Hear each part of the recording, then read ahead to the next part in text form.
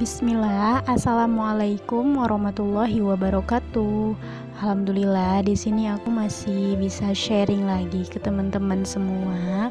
Teman-teman, kabarnya gimana nih? Semoga dalam keadaan sehat ya, dan semoga Allah lancarkan rezeki teman-teman semua. Amin. Di video kali ini aku bakalan update budgeting untuk minggu kedua di bulan September. Sebelum itu aku mau evaluasi dulu nih budgeting untuk minggu sebelumnya. Nah, yang mana ini aku ada minus ya teman-teman yaitu di pos beras dan ternyata uh, pas aku beli beras itu harganya naik ya teman-teman. Jadi mau nggak mau aku harus uh, ambil dari dana tak terduga. Kemudian untuk galon alhamdulillah ini uh, masih sisa juga. Itu sebesar 5000 untuk sisa uang dari galon ini aku masukin aja ke challenge 500k Nah, untuk sinking funds ini kemarin aku habis beli uh, parfum ya teman-teman. Jadi untuk beauty itu berkurang ya uangnya sebanyak 20.000 dan begitupun dengan dana tak terduga yang uh, minus kemarin jadi aku ambil uangnya dari pos dana tak terduga Oke, kita lanjut ya untuk budgeting di minggu kedua bulan September ini. Untuk income aku di minggu ini itu kan sebenarnya aku uh, dikasih suami itu 600 ribu per minggunya ya teman-teman. Tapi kali ini aku hanya uh, ambil di nominal 560 ribu. Aku rasa ini cukup ya buat uh, seminggu mudah-mudahan aja ya teman-teman. Dan di mana uh, seperti biasa budgeting yang selalu aku buat ini terdiri dari pengeluaran wajib kemudian ada pengeluaran untuk kebutuhan pokok ada pengeluaran tambahan dan sisanya nanti baru aku isi ke sinking funds. Untuk pengeluaran wajib aku di minggu ini itu ada PDAM, orang tua dan sampah. Ini tuh memang wajib aku keluarkan setiap minggu dan setiap bulannya ya teman-teman. Nah, untuk PDAM e, karena di minggu ini aku banyak pengeluaran ya teman-teman. Jadi aku budgetkan dulu di nominal 10.000 um, kemungkinan di minggu berikutnya itu bakalan aku budgetkan lebih besar dari ini. Kemudian ada orang tua seperti biasa di 50.000 kemudian ada untuk sampah aku budgetkan 10.000 Kemudian kita ke pengeluaran kebutuhan yang mana itu ada untuk biaya makan untuk satu minggu. Ini aku budgetkan 200 ribu. Um, kayaknya untuk makan ini aku bakalan budgetkan tetap ya teman-teman itu sebesar 200 ribu karena memang untuk uh, makan ini aku sering minus ya teman-teman setiap kali aku melakukan evaluasi pasti untuk uh, makan ini selalu di luar budget makanya uh, aku tambahin budgetnya jadi 200 ribu ya teman-teman. Kemudian untuk beras ini karena kemarin itu beras naik ya jadi aku tambah juga budgetnya menjadi 85 ribu. Kemudian untuk minggu ini aku beli gas ya teman-teman. Itu untuk gas dan galon aku anggarin 45 ribu kemudian ada untuk transportasi. Ini biasanya sih aku buat isi bensin ya teman-teman.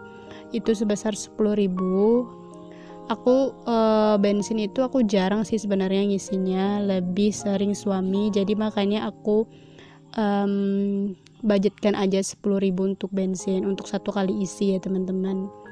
Kemudian ada untuk groceries. Ini aku juga tambah budgetnya itu 55.000 Kemudian ada untuk pakai data atau internet, aku satu minggunya itu habis 25.000 ya teman-teman. Nah, um, kemudian kita lanjut ke pos uh, ke pos atau ke pengeluaran tambahan yang mana itu terdiri dari untuk jajan, kemudian dan sosial. Ini masing-masing aku selalu budgetkan 20.000 ya teman-teman. Untuk jajan memang uh, ini aku kurangin budgetnya jadi 20.000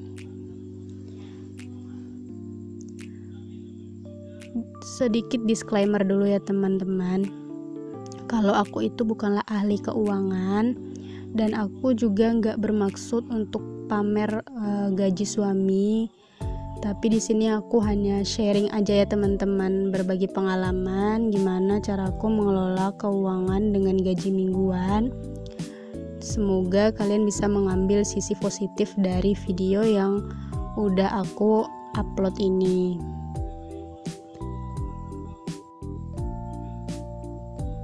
Ingat ya teman-teman rezeki nggak melulu soal uang Tapi rezeki bisa dalam bentuk kesehatan, ketenangan, kedamaian, dan kebaikan lainnya.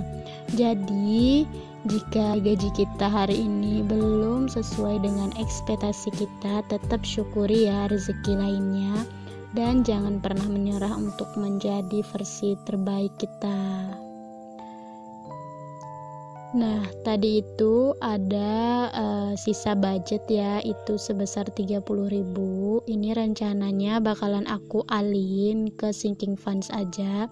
Dan untuk minggu ini aku nggak bisa isi semua sinking funds ya teman-teman. Karena memang budget aku ini udah uh, pas-pasan banget. Jadi uh, aku bakalan isi aja ke sinking funds yang penting itu kayak lebaran dan untuk dana tak terduga.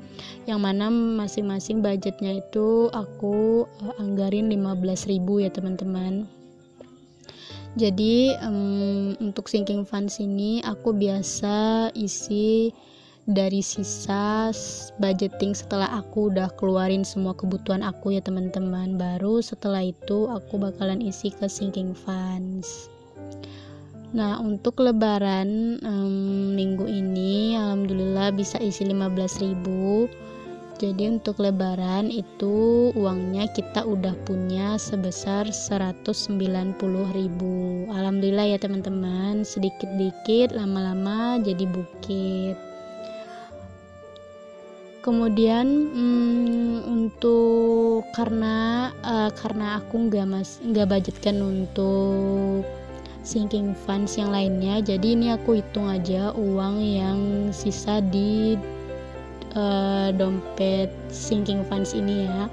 Kayak stationery itu uangnya udah terkumpul sebanyak 20.000 Nah untuk beauty karena kemarin itu udah terpakai 20.000 jadi ini tuh sisanya tinggal 15.000 lagi ya teman-teman.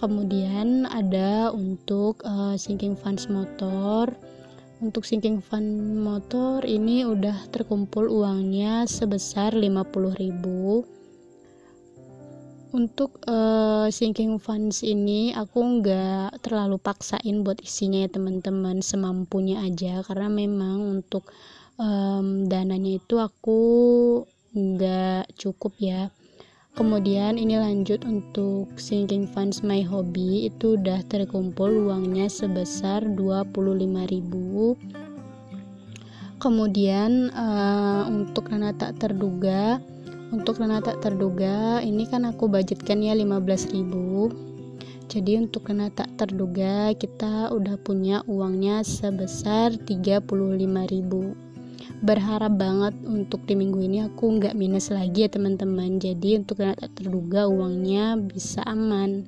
Kemudian untuk uh, my family ini udah terkumpul 25.000 juga alhamdulillah. Dan uh, segitu dulu ya untuk budgeting aku kali ini terima kasih banyak buat teman-teman yang setia nonton video aku sampai selesai kalau teman-teman suka dengan video ini jangan lupa untuk like, comment, dan subscribe ya dan aktifkan juga tombol loncengnya agar teman-teman tidak ketinggalan video terbaru dari aku. Sampai ketemu di video aku berikutnya. Aku akhiri dengan Assalamualaikum warahmatullahi wabarakatuh. Bye bye.